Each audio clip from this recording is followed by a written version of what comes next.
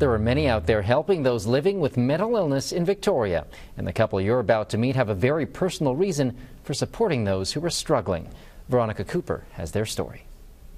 You're gonna go to work and just be like a fairy nymph. Yeah. it's not often that one's job involves glue, foliage, and skin. but it's just another day at Bespoke Blossoms Flower Company. We strive to have a very artistic line, something that's a little bit different, not your not your average flower shop. My hair, do you want it? Let's take it down, actually. Just and not your average flower photos either. These are honestly probably my favorite types of shoots to be booked for. I just love the creativity. A little bit more on this one. Now that creativity will help those struggling with mental health challenges. We live in the downtown core as well, and so we see people experiencing mental health difficulties. And we wanted to do something for Victoria that was going to help destigmatize mental health and bring the topic up in a positive way and do something beautiful. Do you want to put a thing of baby's breath in your lap as well? A beautiful calendar, Blooms for Benefits, with all proceeds to Island Community Mental Health.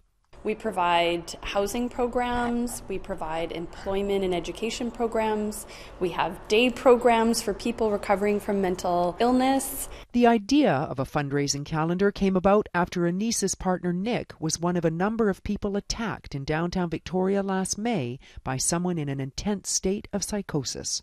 It all happened really, really fast. The gentleman came up from behind me. I was by myself walking down uh, probably Fort and Government. I got hit in the face two or three times. I, I really don't recall. Suddenly, everything was sideways and there was a lot of blood. The attack itself, uh, it was bad, but the reality is that I think it was just a catalyst for us to look around and realize how many people in our lives are affected by mental health. We wanted to take something that negatively impacted a lot of people and turn it into something positive. Just kind of bury yourself in flowers.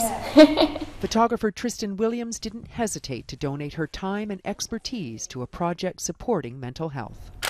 I feel the more you talk about it and more that you make it normal, the more that it is normal because everyone struggles with their own demons. It's about starting a conversation about how mental health touches every single person in our community. So that's what's so unique about Nick and Anissa's story is that they took a really challenging experience and turned it into something positive. Click on our links tab to learn more about the Blooms for Benefit calendar. Vital People is brought to you in part by the Victoria Foundation connecting people who care with causes that matter.